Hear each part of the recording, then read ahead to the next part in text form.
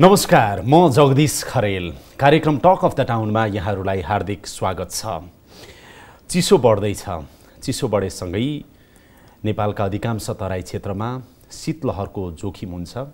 त्यसैले यहाँहरूले पनि ख्याल पुर्याउनु होला। चिसोबाट बस्नुहोला शीतलहरबाट बस्नुहोला न्यानो कपडा लाउनुहोला तातो खानेकुराहरू खानुहोला र चिसोबाट आफ्नो शरीरलाई जोगाउनुपर्छ। विशेष गरेर श्वास प्रश्वास दम सम्बन्धी समस्या भएका ज्येष्ठ नागरिकहरूले अझ बढी ख्याल पुर्याउनु पऱ्यो बालबालिकाहरूलाई अलिकति बढी ध्यान दिनु पऱ्यो अभिभावकहरूले र चिसोबाट जोगिनु पऱ्यो मुख्यतया। यो जनताको तवरमा तर सरकारको तवरमा के कस्ता पूर्व तयारीहरू भएका छन् त? शीतलहरबाट जनतालाई जोगाउनको लागि आज यो विषयमा आज हामी कुराकानी गर्नेछौँ। सबैभन्दा पहिला यो रिपोर्ट यहाँहरूका लागि त्यसपछि अन्तर्सम्वाद लिएर उपस्थित हुनेछु।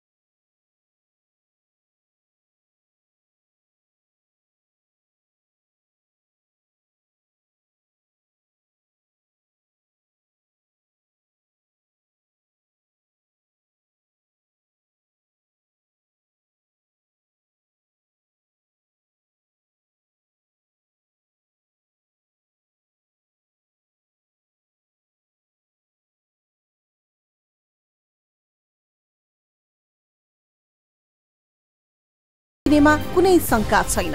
तर अहिले थालिएको प्रयास कति प्रभावकारी र परिणाममुखी हुन्छ त्यसका लागि भने हामीले केही समय पर्खनै पर्छ। शीतलहरबाट बच्नको लागि हामीले के कस्तो सावधानी अप्नाउनुपर्छ यसपाला कुन हदसम्मको चिसो बढ्ला र सरकारले कस्तो तयारी गरिरहेको छ र जनताको तर्फबाट कस्तो तयारी गर्नुपर्छ यो विषयमा आजको यो टेलिभिजन अन्तर्क्रिया केन्द्रित रहनेछ। आज मेरो साथमा दुईजना विशेष व्यक्तित्वहरू हुनुहुन्छ। सबैभन्दा पहिला म स्वागत गर्न चाहन्छु जल तथा मौसम विज्ञान विभागका महानिर्देशक डाक्टर ऋषिराम शर्मालाई। यहाँलाई स्वागत छ। त्यस्तै गरेर मेरो साथमा गृह मन्त्रालय विपद व्यवस्थापन महाशाखाका उपसचिव वंशी आचार्य हुनुहुन्छ। यहाँलाई पनि म हार्दिक स्वागत गर्न चाहन्छु। धन्यवाद नमस्कार। यस वर्ष तराई क्षेत्रमा कतिको बढी चिसो बढ्ला? शीतलहरको जोखिम कतिको होला? शीतलहर चाहिँ हामीले अहिलेसम्मको अनुमानमा गत वर्ष जुन विगत वर्षहरूमा जस्तै यो वर्ष पनि शीतलहर हुन्छ। र अबको एक महिनापछि करिब करिब एक महिनापछि शीतलहर सुरु हुन्छ। र यो यो प्रक्रिया चाहिँ करिब डेढ महिनासम्म रहन्छ। अबको एक महिनापछि सुरु भएन। अब पोहोर जस्तो खालको शीतलहर भएको थियो। करिब करिब यसपाला पनि त्यही तहमा होला। ठ्याक्कै पूर्वानुमान अहिले गर्न नसकिए पनि केही समयपछि पक्कै पनि गर्न सकिएला। तर सरकारको तयारी चाहिँ जनतालाई शीतलहरबाट जोगाउनको लागि के कस्तो तयारी अहिले गृह मन्त्रालयको तर्फबाट गरिराख्नु भएको छ तपाईँले अलिकति बताइदिनुहोस् त। धन्यवाद जगदीश सर। बडा समसामयिक विषयमा यो कार्यक्रम राख्नु भएकोमा म हार्दिक आभार व्यक्त गर्छु। हामीले यो पछिल्लो वर्षको सरकारको पुनर्संरचना स्थानीय तहमा सरकारको गठन प्रादेशिक सरकारको क्रियाशीलता र जिल्ला प्रशासन कार्यालयमा रहने जिल्ला विपद व्यवस्थापन समिति समेतको आपसी समन्वय र पूर्व तयारीका कार्यक्रम अगाडि बढाएका छौँ। यसमा मुख्यतः ठोस रूपमा भन्नुपर्दा सम्बन्धित पालिका स्तरमा स्थानीय स्तरमै हामीले शीतलहरको सामना गर्न सक्ने क्षमताको विकास गर्न र परिआएको शीतलहरलाई उद्धार र राहतका कार्यक्रमहरू तत्काल सञ्चालन गर्नको निम्ति आवश्यक बन्दोबस्ती र पूर्व तयारीका कार्यक्रम सञ्चालन गर्न गृह मन्त्रालय मार्फत र सङ्घीय मामिला तथा सामान्य प्रशासन मन्त्रालय मार्फत आवश्यक सूचना सम्प्रेषण गर्ने समन्वय गर्ने काम चाहिँ गरिराखेका छौँ। स्थानीय तह र जिल्ला प्रशासन कार्यालय भनौँ न यसको लागि अहिले तयारी अवस्थामा छन्? उहाँहरू जिल्ला प्रशासन कार्यालय मार्फत आवश्यक बन्दोबस्तीको तयारी कार्य प्रारम्भ भइसकेको भइसकेका भइसकेको पोहोर साल कति मरेका थिए? केही थाहा छ डाटा? हजुर। अघिल्लो वर्ष शीतलहर चल्ने समयमा विशेषतः पुस र माघको समयमा चौवालिसजनाको दुःखद निधन भएको थियो। यो पटक त्यो दुःखद अवस्था आउने छैन। यसपाला सरकार तयारी अवस्थामा छ भनेर आशा गरौँ। हामी सबैको प्रयास त्यसतर्फ जारी छ। डाक्टर शर्मा यो शीतलहरको चाहिँ पूर्व सूचना छ कि छैन? छ यसको पनि छ र के हुन्छ? पूर्व सूचना कसरी तयार गर्छ र तपाईँहरूले गृहसँग कसरी साझेदारी गर्नुहुन्छ? बताइदिनुहोस् त। जसरी हामीले मनसुनको समयमा बाढीको पूर्व सूचना हामी दिन्छौँ भने अब यो हिउँदको समयमा खास गरी अबको एक महिनापछि डिसेम्बर लागिसकेपछि हामीले यो शीतलहरको पनि पूर्व सूचनाहरू हामी दिन्छौँ। यसको हामी दैनिक रूपमा अनुगमन गर्छौँ। र सम्भाव्य के हुन्छ त? आजको सम्भाव्य के हुन्छ अथवा भोलि कस्तो रहन्छ भन्ने खालको पनि हामीले चाहिँ सूचनाहरू सूचना कसरी जेनेरेट गर्नुहुन्छ तपाईँहरू र कसरी चाहिँ डिसिमिनेसन गर्नुहुन्छ? हामीले सूचना जेनेरेट गर्ने भनेको त्यहाँको मौसमी गतिविधिको बारेमा अध्ययन गरेपछि मात्रै हो। जब त्यहाँ प्रिभिलिङ वेदर वेदर कन्डिसन भनौँ मौसमी गतिविधिहरू भोलि बिहानको लागि शीत शीतलहरको लागि अलिकति उपयुक्त अवस्थामा अवस्थाको सिर्जना भएको छ भन्ने चाहिँ हामीले विश्लेषण देखियो भने हामीले भन्छौँ कि भोलि बिहान यति बजेसम्म यो यो ठाउँमा शीतलहर हुन्छ। र यति बजेपछि दिनभरि रहन पनि सक्छ अथवा दिउँसो दुई तिन बजे चार बजेपछि मात्रै हल्का घाम लाग्न सक्छ भन्ने खालको अनुगमन तथ्याङ्क विश्लेषण गरेपछि मात्रै हामी चाहिँ दिन सक्छौँ। तपाईँहरूले कति। बहत्तर घन्टाको गर्नुहुन्छ कि चौबिस घन्टा कि बाह्र घन्टा कि? शीतलहर चाहिँ चौबिस घन्टाको मात्रै हुन्छ। मौसम पूर्वानुमान समग्रमा चाहिँ बहत्तर घन्टाको हुन्छ चौबिस घन्टाको जस्तो अहिले हामी कुरा गरिरहेको अबको चौबिस घन्टा पूर्वानुमान गर्न सक्नुहुन्छ। त्यो सूचना तयार गर्नुहुन्छ तयार गर्छौँ। तयार गरेको सूचना आफैसँग राख्नुहुन्छ कि हामी आफैसँग राखेर?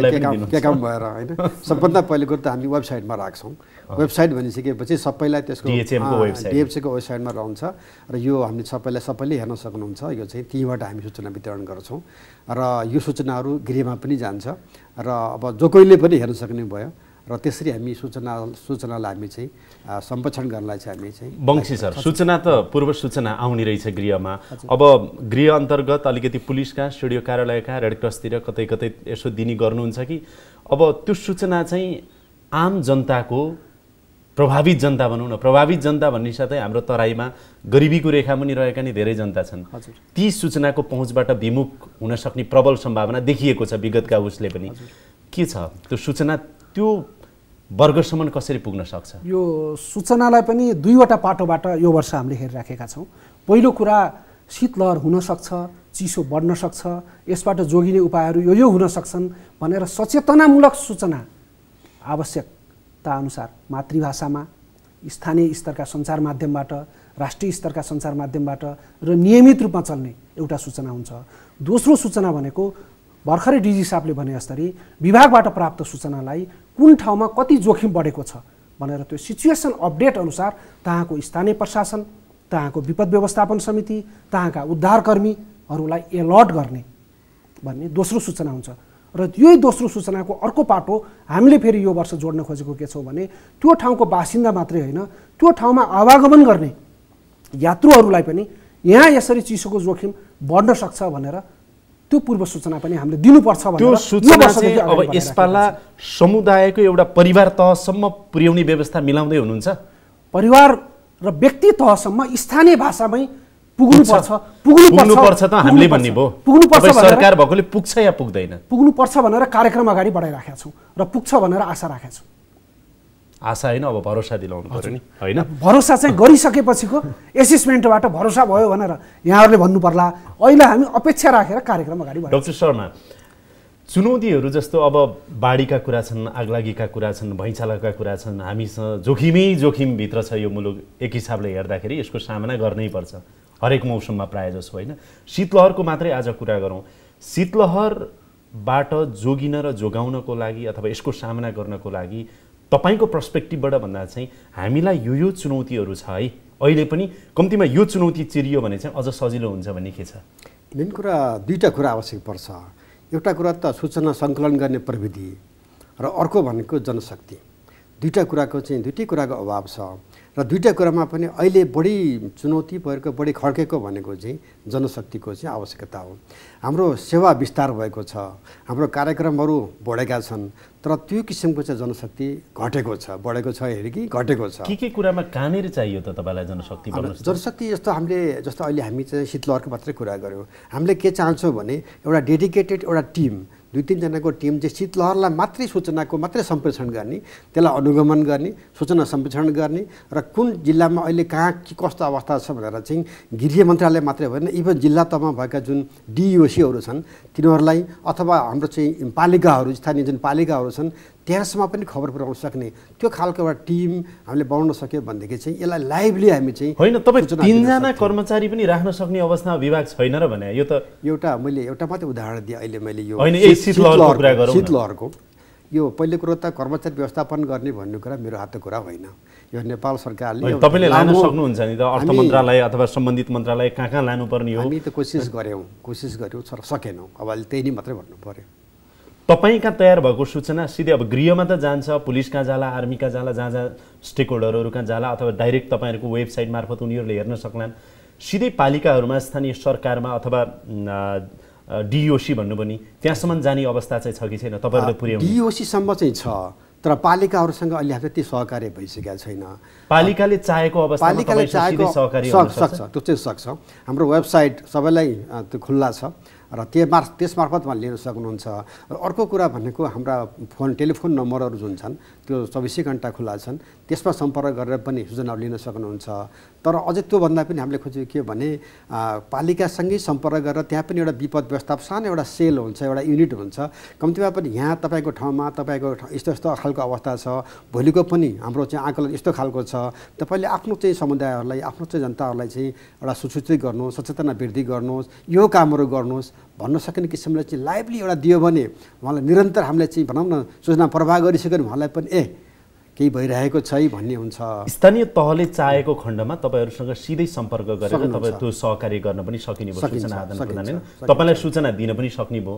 हजुर। स्थानीय तहले तपाईँले दिएको सूचना उनले प्रयोग गर्न पनि सक्ने सक्ने भयो। वंशी सर तपाईँहरूलाई चाहिँ जस्तो अब गृह मन्त्रालयले त अहिले विपद व्यवस्थापनको त महत्त्वपूर्ण सबै पार्ट हेर्नै पर्यो। जोखिम न्यूनीकरणका सन्दर्भमा पनि छँदै नै छन् होइन? यो अवस्थामा चाहिँ शीतलहरको मात्रै आज कुरा गरौँ न। हामीलाई चुनौती चाहिँ यो यो छ। यसरी चिर्न पाइयो भने त अझ पोहोर साल चौवालिस पैँतालिसजना मरेको थिए। हामी यसपालि त जिरो जिरोमा ल्याउन सक्थ्यौँ अथवा धेरै घटाउन सक्थ्यौँ भन्ने के छ? शीतलहरकै विषयमा कुरा गर्दाखेरि यो प्रकोपलाई चिन्न र सामना गर्न सक्ने क्षमताको विकास गर्न यही दुईवटा कुरा हो।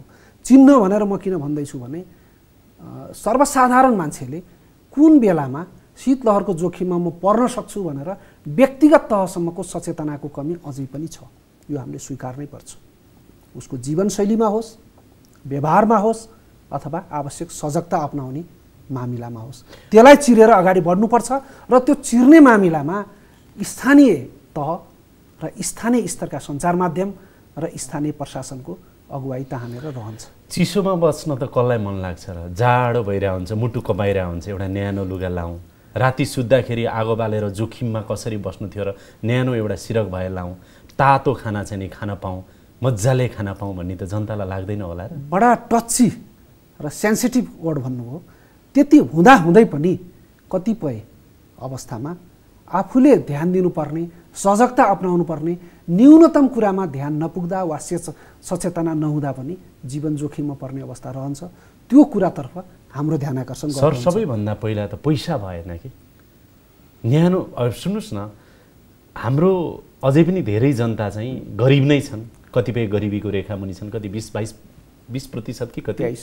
तेइस प्रतिशत चाहिँ नि गरिबीको रेखा मुनि नै छन्। ती जनतालाई सचेतना भएन त एउटा पाटोमा। अब त त्यहाँ सरकारको उपस्थिति हुनु पर्यो गणतन्त्रमा भनेको। हो। बडा राम्रो कुरा भन्नुभयो। म यही कुरामा आउँदै थिएँ। पिपुल सेन्टर्ड एप्रोच अर्थात् त्यो समाजको पनि पिँधमा रहेको व्यक्तिलाई कसरी हामीले सम्बोधन गर्ने कसरी पुग्ने त्यही भित्र पनि बालबालिका बढी जोखिममा हुन्छन्। ज्येष्ठ नागरिक ज्येष्ठ नागरिक वृद्ध वृद्धहरू जोखिममा हुन्छन् गर्भवती महिला जोखिममा हुन्छन् दीर्घ रोगीहरू जोखिममा हुन्छन् गरिबीको रेखामुनि रहेका व्यक्तिहरूको जो जीवनको दुष्चक्र हुन्छ उनीहरू जोखिममा हुन्छन्। मृत्युको फरक त्यही त मृत्युको फरक हेर्नुहोस् न तपाईँको कसरी एकातिर राम्रो घर हुन्छ धनी मान्छे हुन्छ समृद्ध हुन्छ उसलाई त त्यो चिसोले छुँदैन हिटर होला अथवा दाउरा होला न्यानो कपडा होला न्यानो सिरक होला त्यो सँगै जोडिएको छाप्रो अर्को हुन्छ त्यहाँ मान्छे मर्छ। हजुर। विभेद त यहाँ छ त्यो छाप्रोभित्र सोसियल डिस्क्रिमिनेसन त्यो छाप्रोभित्र पनि ज्येष्ठ नागरिक जोखिममा हुन्छ बालबालिका जोखिममा हुन्छ दीर्घरोगी जोखिममा हुन्छ गर्भवती जोखिममा हुन्छ कामकाजी र एकल महिला वा पुरुष जोखिममा हुन्छ त्यो पाटोतिर पनि ध्यान दिएर सचेतना र सक्षमता दुइटै कुरालाई सँगसँगै अगाडि कसरी बढाउने भन्ने कुरामा नै यस वर्षको हाम्रो ध्यान रहन्छ। डक्टर शर्मा यो तपाईँको विभाग अन्तर्गतको प्राविधिक प्रश्न त होइन। तैपनि यो जुन सोसल डिस्क्रिमिनेसन छ नि हामीसँग र त्यो शीतलहरले सबैभन्दा पहिला गरिबलाई नै च्याप्छ कि? त्यो देखिन्छ नि। कसरी मुक्ति पाउने? के गर्ने? अहिले त स्थानीय सरकार छ प्रदेश सरकार पनि छ घर दैलोमै सिंहदरबार भनेको छ। केही उपाय होला तपाईँले देख्दा? होइन पहिलो कुरा त अघि वंशीले भने जस्तै सचेतना एउटा महत्त्वपूर्ण कुरा हो। किनभने हामी त्यो ठाउँमा बसेका छौँ जहाँ कुनै बेलामा पैँतालिस डिग्री सेल्सियस तापक्रम पुग्छ भने हिउँदमा पाँच छ डिग्री तिन चार डिग्री सेल्सियससम्म पनि पुग्छ। त्यो खालको विषमतामा हामी बसेका छौँ बाँचेका छौँ र त्यही किसिमको पूर्व तयारी गर्नुपर्छ भन्ने चाहिँ जनचेतना चाहिँ त्यहाँ बस्ने सर्वसाधारणले चाहिँ लिनु पऱ्यो ग्रहण गर्नु पऱ्यो मलाई लाग्दैन कि एउटा ज्याकेट जुन सामान्य पैसै कुरा गरौँ डेढ दुई सयमा एउटा ज्याकेट पाइन्छ। अथवा पाँच सय अथवा पर्ला। सिरेकै एउटा भनौँ कुरा गरौँ त्यति एफोर्ड गर्न नसक्ने अथवा एक दिनकै ज्यालाको कमाइले ल ठिक छ म चाहिँ यो वर्षको लागि सिरेक अथवा ड्यानो कपडा जोहो गर्छु भन्न सक्ने मान्छे त्यो सोच भयो भने त्यो गर्न नसक्ने कुरा चाहिँ होइन। यसै सन्दर्भमा हामीले अरू सरोकारवालाहरूसँग पनि सोधेका छौँ। हेरौँ उहाँहरूको विचार।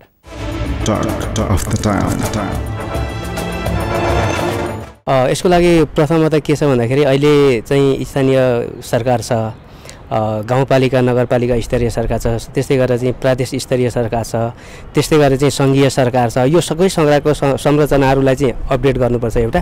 अर्को चाहिँ स्थानीय समुदाय जुन ठाउँमा समुदाय नागरिकहरू बसोबास गर्छ त्यो नागरिकको चाहिँ यो सिजनल क्यालेन्डरहरू अपडेट पऱ्यो त्यो अनुसार समुदायसँग त्यसको बच्नको लागि स्रोत साधन के छ? त्यसै गरी उनीहरूसँग नभएको स्रोत साधन उनीहरूले कुन निकायबाट प्राप्त गर्न सक्छ भन्ने सन्दर्भमा त्यो किसिमको रिसर्च म्यापिङ एउटा गर्नु पर्यो महत्त्वपूर्ण कुरा।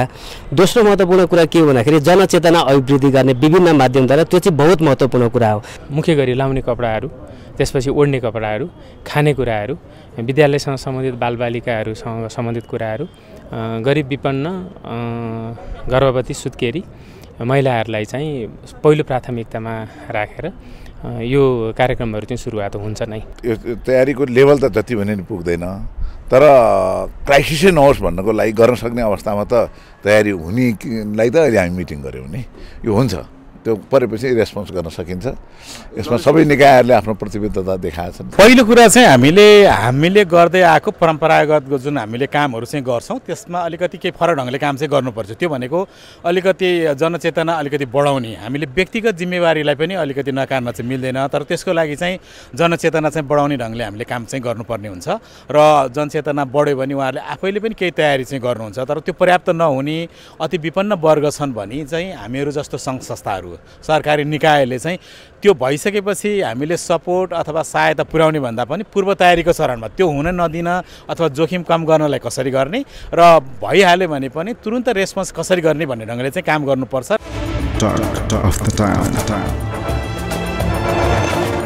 बङ्सी सर केही दिन अगाडि तपाईँहरूले गृह मन्त्रालयमा एउटा राम्रो काम पनि गर्नुभयो छलफल गर्नुभयो मिटिङ गर्नुभयो यसपालाको तयारी कसरी गर्ने कसरी चाहिँ अब चिसोको सामना गर्ने गराउने भन्ने विषयमा। त्यहाँ निस्केको निष्कर्ष त्यो छलफलबाट विभिन्न स्टेक होल्डरहरूको बिचमा भएको थियो एनजिओ आइएनजिओ सरकार अरू विभिन्न सेक्टरको। त्यसको निस्केको क्रिम कुरा चाहिँ के हो निष्कर्ष? हामीले तिन दिन अगाडि गरेको त्यो छलफलबाट निस्केको निष्कर्षलाई म बुदागत रूपमा पाँचवटा कुरामा राख्न चाहन्छु। व्याख्या नगरी है। व्याख्या नगरिकन पहिलो कुरा हो जो चिसोको जोखिममा हुन्छ जो शीतलहरको जोखिममा हुन्छ उहाँहरूलाई आफ्नो स्थानीय भाषामा त्यो जोखिमको सचेतना अवृद्धि गर्ने क्याम्पेन चलाउने पहिलो कुरा। दोस्रो कुरा त्यो जोखिममा परेकाहरूको नक्साङ्कन गर्ने व्यवस्थापकीय हिसाबले स्थानीय सरकारले स्थानीय प्रशासनले। कहाँको जोखिममा हुन सक्छ भन्ने कुराको नक्साङ्कन गर्ने दोस्रो। कुरा।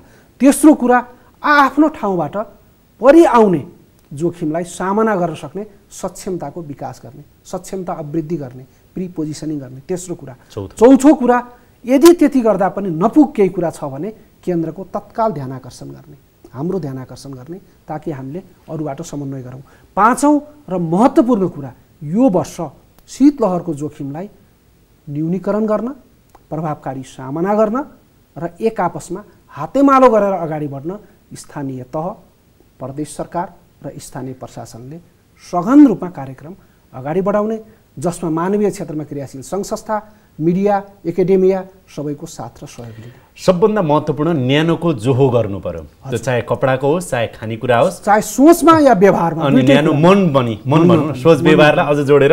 न्यानो मनको पनि न्यानो जो मनको गर्नु पर्यो होइन? हजुर। अब एनजिओ आइएनजिओ छन् नेपाललाई सहयोग गरौँ भन्ने छन् होइन? कति स्टेक होल्डरहरू छन् गभर्मेन्ट आफै छ। यति बेला तपाईँ सरकारको तर्फबाट चाहिँ के आग्रह गर्न चाहनुहुन्छ कि? जनतालाई के आग्रह गर्न चाहनुहुन्छ? स्थानीय सरकार र प्रदेश सरकारलाई तपाईँ के आग्रह गर्न चाहनुहुन्छ? र जो साझेदारहरू छन् सहयोग गर्ने भनेर बसेको यो शीतलहरबाट जोगिने यो चाहिँ गरौँ है भनेर। अघि पाँचवटा बुँदा त आइ नै हाल्यो। तर फाइनल्ली यति चाहिँ गरौँ है कम्तीमा भन्ने के छ? म फाइनली तिनवटा कुरा मात्रै भन्न चाहन्छु। पहिलो कुरा यो व्यक्तिगत सामाजिक पारिवारिक तहमा हामी सचेत र सक्षम हुनु पर्यो। नेपाली समाजको बडा राम्रो सौन्दर्य छ।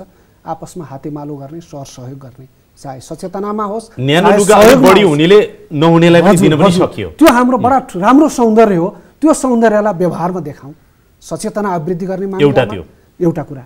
दोस्रो कुरा हामीमा रहेको जुन सरकारी संयन्त्रहरू स्थानीय प्रशासन प्रदेश स्थानीय र स्थानीय प्रशासनको आपसमा हातेमालो र समन्वय अलि बढाउँ ताकि यो सामना गर्न सक्ने क्षमता बढोस्। र तेस्रो कुरा सहयोगी हातहरू र केन्द्रको आवश्यक सहयोग कहाँनिर पर्छ भन्ने कुरा अन टाइममै खबर भयो भने केन्द्रमा रहने नेसनल इमर्जेन्सी अपरेसन सेन्टर चौबिसै घन्टा खुल्ला रहन्छ। तहाँबाट पनि रेस्पोन्स कोअर्डिनेसन गर्ने मामिलामा हामी खट्नेछौँ खटिरहनेछौँ। डिसेम्बर एकपछि एक तारिकपछि हामीले दैनिक रूपमा शीतलहरको अनुगमन गर्छौँ। र अनुगमन गरिसकेपछि भोलिको शीतलहर कस्तो हुन्छ भोलि दिउँसो कस्तो रहन्छ बेलुकी कस्तो रहन्छ नेपालको पूर्वी भागमा कस्तो हुन्छ पश्चिम भागमा मध्य भागमा कस्तो हुन्छ त्यो खालको सूचनाहरू हामी प्रवाह गर्छौँ। र हामी एउटा कुरा के तयारी गरौँ भने शीतलहर भनेको हामीले जुन गत वर्ष विगत बिस तिस वर्षबाट जुन हामीले देखेका छौँ भएका छौँ यसको निरन्तरता अहिले पनि हुन्छ शीतलहर अहिले पनि आउँछ यो हामीलाई पहिल्यै थाहा छ। कुन दिन हुन्छ कुन दिन हुँदैन भन्ने कुरा हामी त्यही बेला बनाउला तर यो हुन्छ।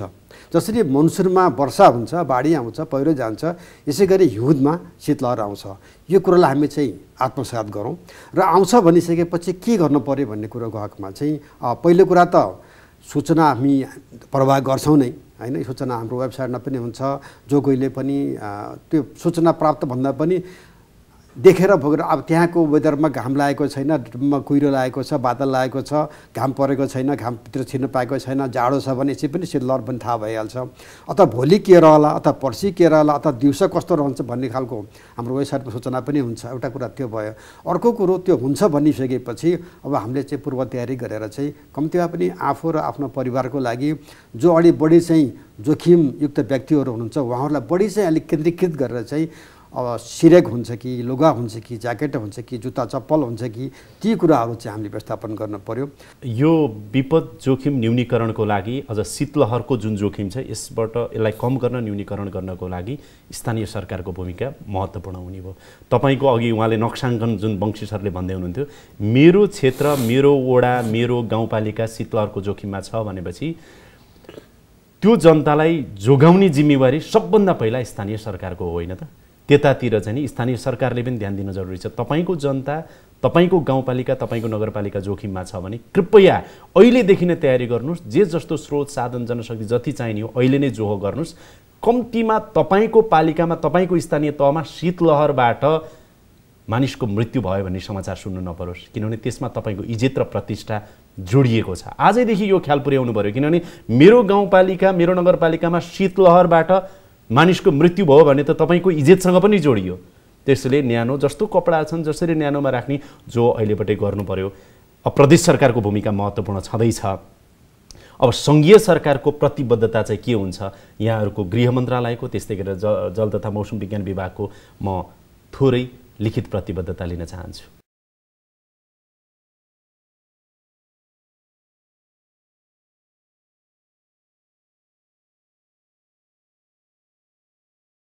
मेरो प्रतिबद्धता शीतलहरको सामना गर्न सक्ने सक्षमता अभिवृद्धि गर्नका लागि डिहाय बमोजिम गरिनेछ। सूचनाको पहुँच बढाउने अर्थात् स्थानीय भाषामा सचेतनाका कार्यक्रम सञ्चालन गर्ने गराउने। दुई नम्बरमा उच्च जोखिमयुक्त स्थानको जोखिम नक्साङ्कन गरी प्रि पोजिसनिङ तथा इफेक्टिभ रेस्पोन्सका कार्यक्रम स्थानीय तह प्रादेशिक सरकार स्थानीय प्रशासन पारस्परिक समन्वय र सहकार्यमा सञ्चालन गर्ने गराउने जसको ब्याकिङ गर्ने काम केन्द्रबाट गृह मन्त्रालयले गर्नेछ।